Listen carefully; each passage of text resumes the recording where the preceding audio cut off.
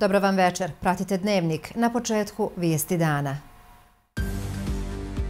U Zavod za javno zdravstvo Tuzlanskog kantona stigao dio pripremnog materijala za vakcinaciju protiv koronavirusa. U protekla 24 sata u Tuzlanskom kantonu evidentirana 93 novozaražena, preminule tri osobe. Pripreme za naredno skupštinsko zasjedanje okončale tri komisije Skupštine Tuzlanskog kantona. Obustava nasilja i uznemiravanja uposlenika tema ovogodišnjeg dana sigurnosti i zdravlja na radu. Muslimani večera s akšamskim ezanom obilježavaju Lejletul Bedr, sutra umjereno do pretežno oblačno vrijeme. U Zavod za javno zdravstvo Tuzlanskog kantona danas je stigla određena količina pripremnog materijala potrebnog za vakcinaciju protiv koronavirusa. Nastavak je to saradnje vlade Tuzlanskog kantona i UNDP-a u borbi protiv koronavirusa i samo jedan od zajedničkih uspješno realizovanih projekata u različitim oblastima. Vlasti na federalnom i državnom nivou još uvijek ne znaju kada bi u našoj zemlji mogla početi masovna vakcinacija. Međutim, kantonalne i lokalne vlasti rade pripreme kako bi se prevenirali svi organizacijski, logistički, kadrovski i drugi problemi kada veća količina vakcina stigne u našu zemlju. Danas je u Zavod za javno zdravstvo Tuzlanskog kantona stigla određena količina potrošnog materijala za vakcinisanje, koji će u narednom periodu biti podijeljen zdravstvenim ustanovama. 50.000 eh, šprica E, jednokratna špica za vakcinaciju protiv covid nešto sanitetskog materijala i 45 kutija za oštri otpad, znači posle vakcinisanja se bacaju u te kutije. E, mi smo ovaj, već napravili plan raspodijeli prema zdravstvenim ustanovama na osnovu broja stanovnika, a evo kad dobijemo saglasnost od ministarstva na takvu vrstu raspodijeli, ćemo i uraditi raspodijelu prema, prema domovima zdravlja. U Zavodu za javno zdravstvo Tuzlanskog kantona očekuju još isporuka ove vrste medicinskog, odnosno pripremnog materijala za vakcinaciju, a očekuje se i isporuka frižidera za hladni lanac. Sa UNDP-om vlasti Tuzlanskog kantona imaju višegodišnju uspješnu saradnju, kazao je premijer Kadrija Hođić. Ovo je samo dio materijala koji je nabavljen i koji će biti nabavljen u narednom periodu. To je dio strategije zajedničke saradnje koju koja se u Tuzlanskom kantonu sa UNDP-em već odavno u pogledu zdravstva dogovara i zbog svega toga u ime građana Tuzlanskog kantona zahvaljujem naporima UNDP-a. Premijer Hođić kaže da gotovo svakodnevno razgovara sa federalnim premijerom Fadilom Novalićem o mogućnostima nabavke vakcina. Nažalost, ističe da još nema jasnih informacija kada bi mogla početi masovna imunizacija. Ističe da je vlada Tuzlanskog kantona finansijski spremna pomoći. Mi, nažalost, još ne znamo ni, ni koliko dozi vakcina, koliko će od te ukupne mase doći u Tuzlanski kanton, ali smo opredjeljeni da na taj nivo, da na taj broj koji bi pripao nama, dodamo onaj dio koji bismo sami platili recimo neki 20-30 hiljada još vakcina. Ministar zdravstva Božo Jurić osvrnuo se na epidemiološku situaciju u Tuzlanskom kantonu. Kaže da se stanje popravlja, ali da je daleko od dobrog. Broj hospitaliziranih pacijenata sa teškim simptomima bolesti i dalje jako zabrinjava. Zasutro je najavio sjednicu kriznog štaba, na kojoj će između ostalog biti razmatrano popuštanje određenih mjera. Mi smo i prethodne mjere koje su donete donijeli na rok trajanja od sedam dana. One ističu sa važenjem u petak. E, mi ćemo e, najvjerovatnije sutra imati novu sjednicu kriznog stožera Ministarstva zdravstva gdje ćemo razmatrati između ostalog i mogućnost e, popuštanja tih restrikcija kad su u pitanju obavljanje dakle, tih sportskih aktivnosti u zatvorenom prostoru kao i nekih dodatnih van nastavnih aktivnosti koji se tiču dakle, školske populacije. Građani su i sa ovog mjesta pozvani na oprez i primjenu mjera zaštite od virusa. Broj zaraženih i preminulih od posljedica koronavirusa u Bosni i Hercegovini je u blagom padu. U protekla 24 sata registrovano je 646 slučajeva zaraze koronavirusom, dok je od posljedica koronavirusa preminulo 46 osoba. U Tuzlanskom kantonu su 93 nova slučaja zaraze koronavirusom od testirana 423 uzorka. Preminule su tri osobe koje su bile pozitivne na koronavirus. Trenutno je u Tuzlanskom kantonu koronavirusom aktivno zaraženo 1587 osoba, hospitalizovano je 235 osoba, pet je na respiratoru, a ostali su u kućnoj izolaciji. U Univerzitetsko-kliničkom centru Tuzla do sada je oko 1700 zdravstvenih radnika primilo vakcinu protiv koronavirusa. Ove sedmice je počela i revakcinacija, tako da je do sada aplicirano oko 2000 doza vakcine. Prema riječima ljekara, vakcine su u zadnji čas spriječile kolaps zdravstvenog sistema u Tuzlanskom kantonu. Niko za sada nije imao neželjene posljedice, odnosno nuspojave. Ljekari, medicinske sestre i tehničari više od godinu dana nalaze se na prvim linijama odbrane od koronavirusa. Nesebično svakodnevno pomažu pacijentima. Ni sami nisu pošteđeni. U toj borbi nerijetko i sami obole, a neki su izgubili i život. Jedna od oboljelih je i doktorica Vasvija Uljić, specijalista anesteziologije i reanimatologije u KC Tuzla, koja još u septembru prošle godine dobila COVID sa težom kliničkom slikom. Na svu sreću dobila je bitku za život, a danas je i revakcinisana. Ja sam mjesec i po dana bila u respiratornom centru u Slavinovićima na neinvazivnoj mehaničkoj ventilaciji. Posle toga teška forma COVID-a, razvio se i post-COVID sindrom s kojim se borim evo zadnjih sedam mjeseci. Posljedica ima, ali pitanje vakcinacije nikad došlo u obzir zato što mislim da je jedini način da se sve ovo jednom zaustavi i da počnemo da živimo kako smo prije živjeli. Među prvima koji je primio vakcinu je i dr. Denis Mršić, specijalista interne medicine, kardiolog, član operativnog tima u KCA Tuzla za vakcinaciju. Do sada je u KCA Tuzla vakcinisano oko 1700 uposlenika. Jer mi smo sad u tunelu. S jedne strane je svjetlo, s druge tama. Tam je smrt, tam je život. Moramo se dobro svi organizovati. Vakcina je izlaz u svakom slučaju i to hoću da kažem. Znači, svi koji se vakcinisali, oni su zadovoljni i oni osjećaju sigurnost za dalju borbu protiv COVID-a. Mi se moramo brinuti o vama novinarima i o prosvjetnim radnicima, moramo se brinuti ko radi u obraništu, ko radi po prodancama u Bingu i oni su ugroženi. Jer da mi spriječili ovu epidemiju, mi moramo masovnu provesti vakcinaciju. Znači, vakcinacija obavez, vakcinacija spas. Dr. Mršić tvrdi da je vakcinacija zdravstvene radnike sačuvala teške kliničke slike i hospitalizacije u respiratornom centru. Stoga je neophodno što prije krenuti u masovnu vakcinaciju stanovništva. Naglašava da su sve vakcine dobre i pouzdane, te da su benefiti brojni. Vakcina u principu bezbjedna. Možete imati bol, otok, temperaturu, ali najbitnija stvar – velika vjerovatnoća. Znači, nećete završiti na respiratoru, nećete doživiti smrt i nećete imati tešku kliničku sliku. U poređenju sa simptomima koje sam imala post-COVID, koji su znači i e, praćeni i mijalgijama, znači bolima u mišićima i atralgijama, bolovi u zglobovima, ove pojave posle vakcinacije, znači samo jedan bol umjereni na mjestu davanja vakcine, ostalo nikakvih nikakvih znakova nije bilo, ni temperature, ni nekih drugih problema nije bilo. Ohrabruje da niko nakon vakcinacije u Univerzitetskom kliničkom centru Tuzla do sada nije imao nikakvih neželjenih posljedica. Sam proces vakcinacije teče uredno, znači mi smo zadovoljni, tu smo svaki dan, znači radimo. Uh, iz početka je to malo bilo teško, znači, pak je to novi lijek, nešto novo s čim smo se mi susretali, bilo je malo i bojaznosti sve, ali sve u svemu znači sve je prošlo bez ikakvih komplikacija, znači što se tiče naših kolega, kolegica, inače poslanika kliničkog centra, znači nije bilo tih komplikacija nekih. U Tuzla oformljena su ukupno četiri tima za vakcinaciju, a trenutno je u toku revakcinacija medicinskih radnika.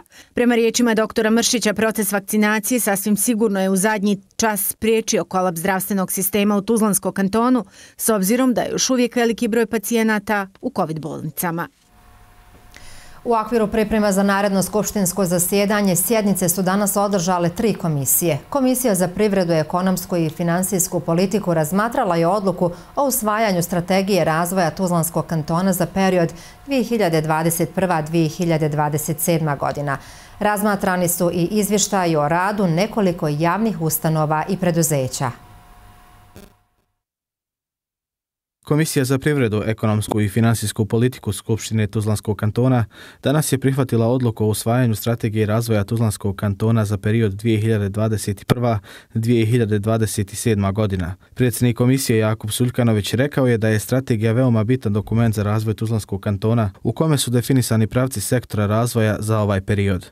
Tako da smo dobili jedan sedmogodišnji, rekao bi, eh, dokument u odnosu na dosadašnji koji je bio petogodišnji i to je usklađivanje sa e, dokumentima Evropske unije i u njemu su naznačeni najznačajniji, evo da kažem, tip neki projekti, odnosno kada je pitanje program javnih investicija koji se na neki način naslanja na ovaj dokument, dokument okvirnog budžeta i e, budžeti tekuće godine kojim su definisani tačno razrađeni projekti, odnosno programske aktivnosti kada je u pitanju implementacija strategije e, razvoja Tuzanske kantona za period 2021-2027 godina. Na današnjoj sjednici članovi komisije su između ostaloga raspravljali i o nekoliko izvještaja o radu i poslovanju javnih ustanova i preduzeća za period 2019. i 2020. godine.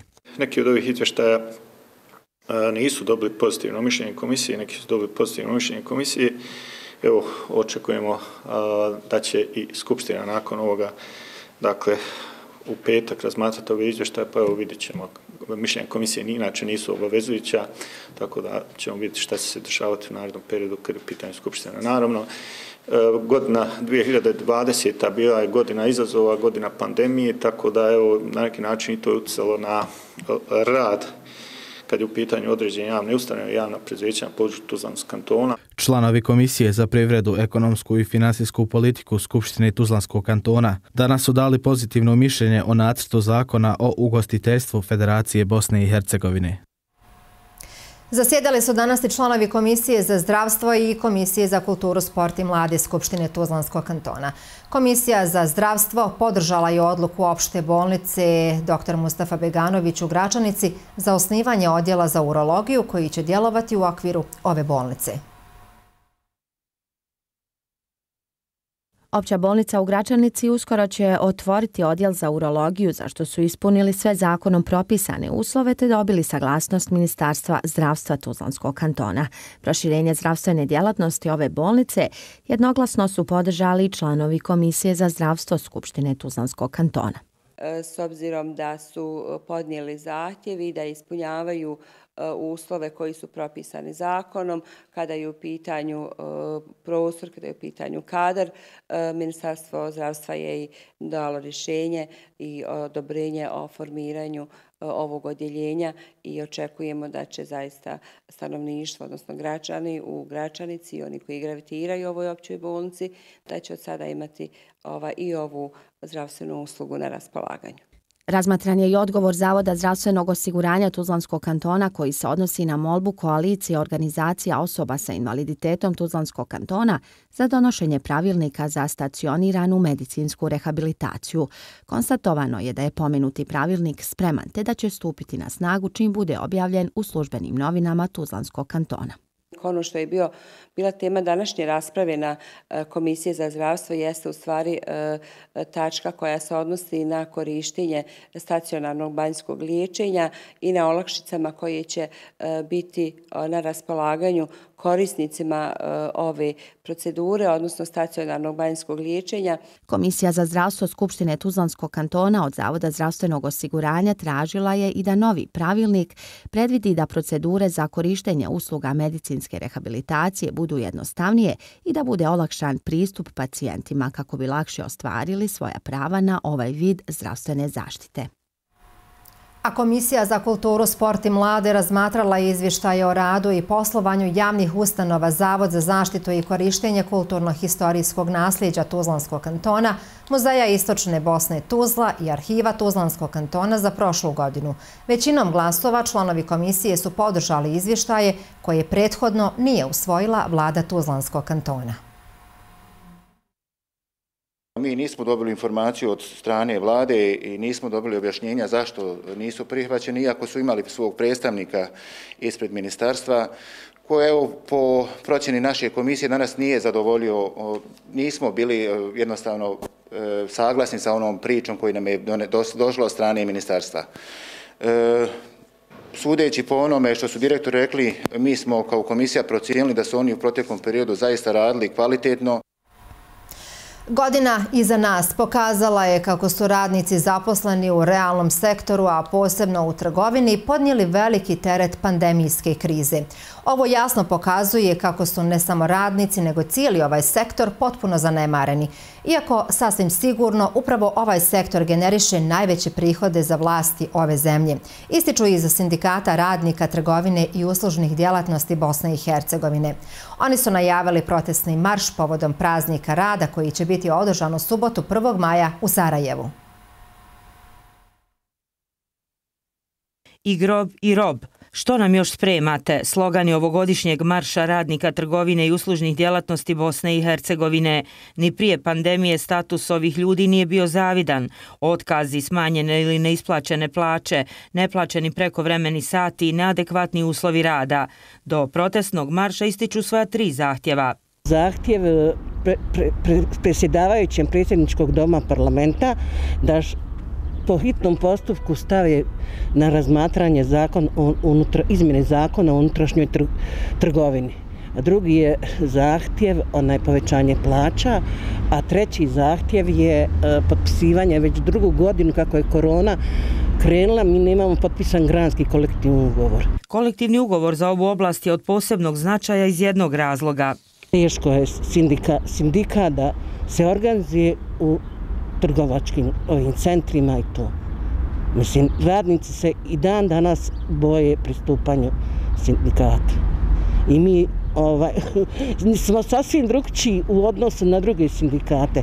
Lako je na budžetima, pa imaju, a mi Znate kako je, od sirotinske plate. Prvomajski marš u Sarajevu biće prilika i za upučivanje zahtjeva da zaposleni u trgovini imaju pravo na slobodan dan za državne praznike, ali i prilika za sjećanje na sve preminule od posljedica COVID-19 i nebrigu vlasti za ovu grupu ljudi koji su među najizloženijim zarazi, jer za njih ne postoji rad od kuće, a nisu ni prioritet za vakcinaciju.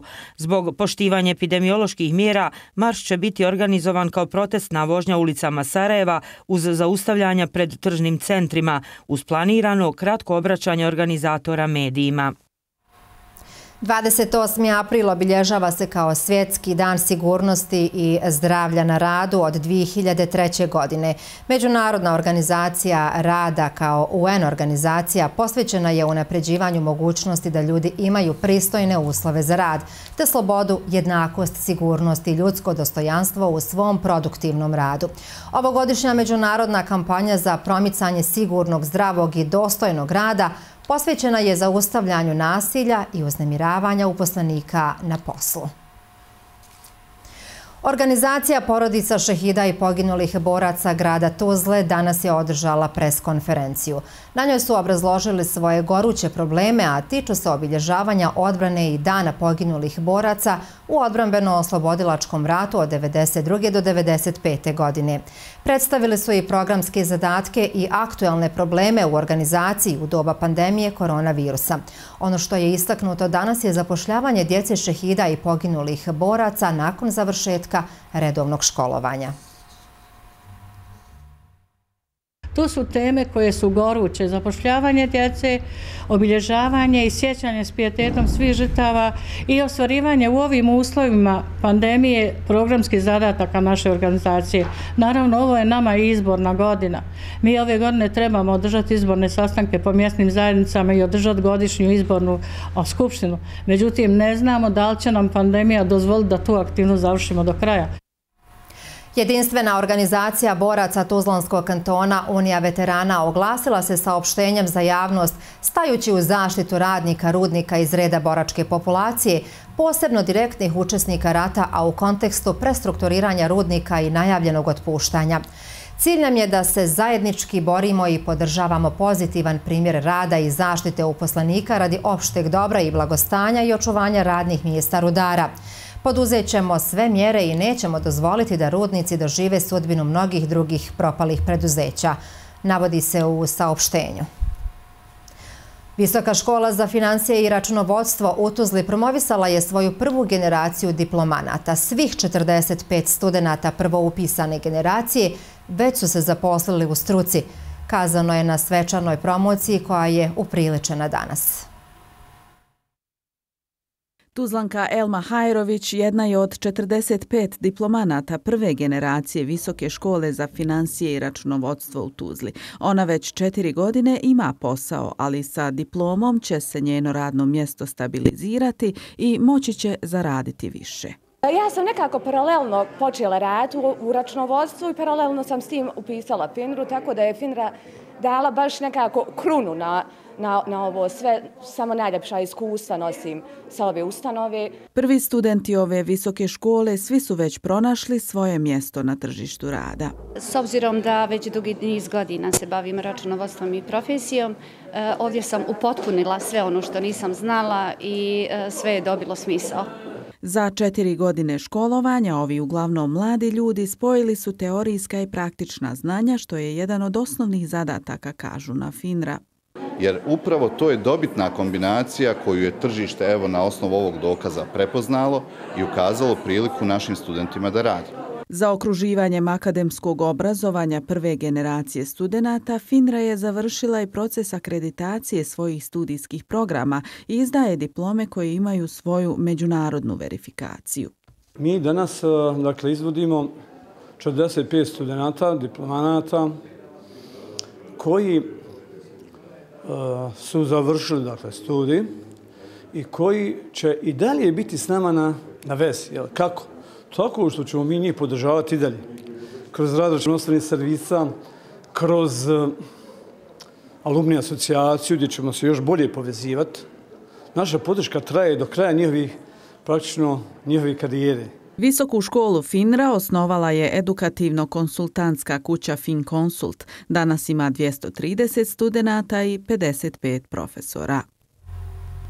Muslimani večera sa akšamskim mezanom obilježavaju Leletul Bedr. Na brdu Bedr, blizu grada Medine, 17. ramazana 624. godine dogodila se prva bitka u historiji Islama. Kako navode iz Uprave za vjerske poslove Rijaseta Islamske zajednice u Bosni i Hercegovini, muslimana je u toj historijskoj bitki bilo 314, a njihovih neprijatelja i idolopoklonika je bilo 1300. Iako brojčano slabiji muslimani su predvođeni Muhammedom Aleyhisselamom vojno porazili neprijatelje. Bitka na Bedru je potvrda da brojčani odnos snaga nije presudan, već iskrena vjera i to je znak da je snaga u jedinstvu muslimana. Na kraju još e, apel, koronavirus i dalje kruži među nama odnoseći živote. To je dovoljan razlog da se dodatno uozbiljimo. Stoga i dalje nosite maske, održavajte propisanu udaljenost i izbjegavajte masovna okupljanja. Pratili ste Dnevnik. Hvala vam na pažnji i ugodno večer.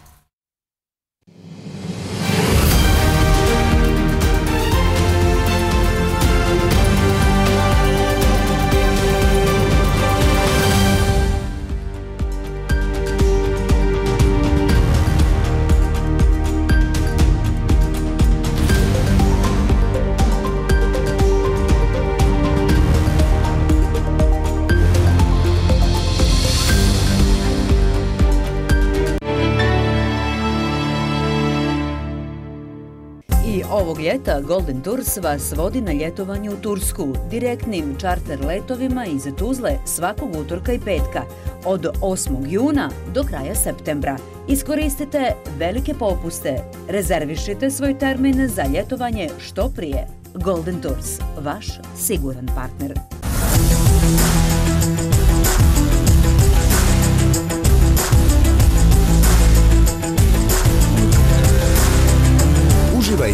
Arena Sport kanalima uz M-Sat već od 7,5 km mjesečno. M-Tel. Imate prijatelje.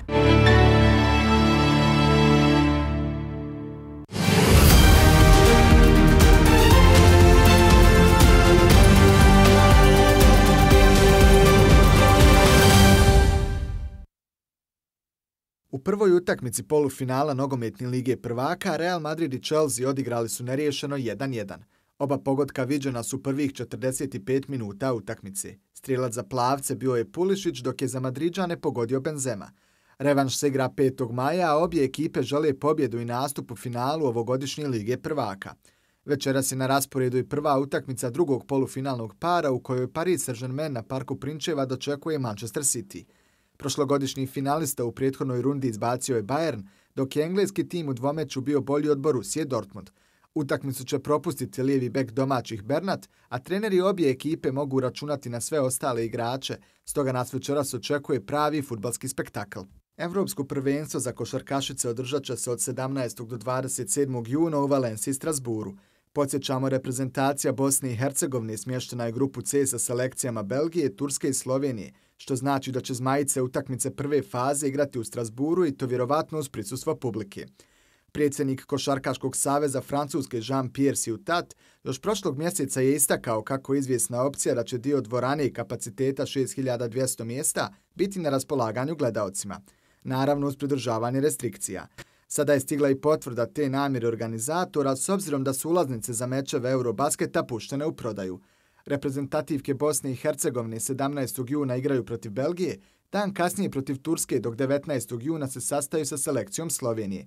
Pripreme naših najboljih košarkašica počinju 9. maja okupljanjem u Sarajevu i trajaće do 13. juna, nakon čega putuju u Francusku. Proteklog vikenda u Banja Luci odigrana je završnica Kupa Bosne i Hercegovine u Kuglanju. Učestvovali su Posušje, Revita, Ada Banja Luka i Tuzlanska Sloboda, ekipe koje su kroz kvalifikacije izborile nastup. Prvo mjesto osvojila je ekipa Posušja pobjedivši u finalu Revitu 6-2, čime je odbranila naslov prvaka od prošle godine. Sloboda je u utakmici za treće mjesto izgubila od Ade istim rezultatom, čime je ekipa iz Banja Luki obezbijedila nastup u međunarodnim takmičenjima. Floyd Mayweather još jednom će se vratiti iz penzije i ući u ring, ovaj put sa youtuberom Jake Paulom. Paul je nedavno u boks meču nokautirao MMA borca Ben Askrena. Njih dvojica sastaće se 6. juna na Hard Rock stadionu u Majamiju, a radi se o egzibicionom meču. Mayweather kroz čitavu svoju karijeru nije zabilježio ni jedan poraz, a okončao ju je sa skorom od nevjerovatnih 50 pobjeda.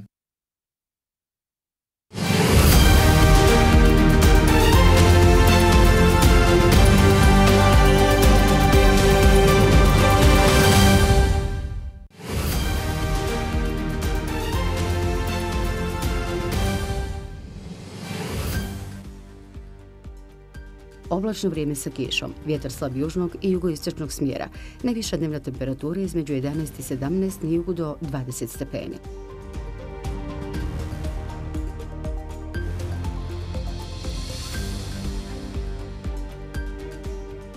U Bosni i Hercegovini umireno do pretežno oblačno vrijeme. Lokalni pljuskovi se očekuju od sredine dana prema večernjim satima, uglavnom u južnim i jugozapadnim, ali i sjevernim područjima.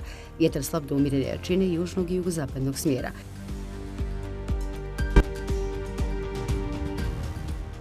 Biometeorološka situacija utjecat će nepovoljno na osobe sa respiratornim tegobama i psihičkim pacijentima. Razražljivost i neraspoloženje su moguće meteoropatske reakcije. Zbog radova u tunelu Čaklovići na divnici Tuzla Kalesija saobraćaj se od 22 do 6 sati ujutro obustavlja i preusmjerava na alternativni pravac preko Dubrava. Tokom dana putička vozila iz smjera Tuzle saobraćaju kroz tunela i smjera Kalesija obilaznicom oko tunela. Teretna vozila se i dalje tokom dana usmjeravaju na put preko Dubrava. Na graničnim prelazima nema duži zadržavanja. Prema podacima Ministarstva za prostorno uređenje i zaštitu okoliša Tuzlanskog kantona, kvalitet zraka za 27. april ove godine odgovarao je kvalitetu čistog zraka na lokalitetima Skver, BKC, Bukinje, Lukavac i Živinice. Detaljne informacije o satnim mjerenjima pojedinih parametara kvaliteta zraka na stacioniranim i mobilnim mjernim stanicama u Tuzlanskom kantonu pogledajte na web portalu rtvtk.ba.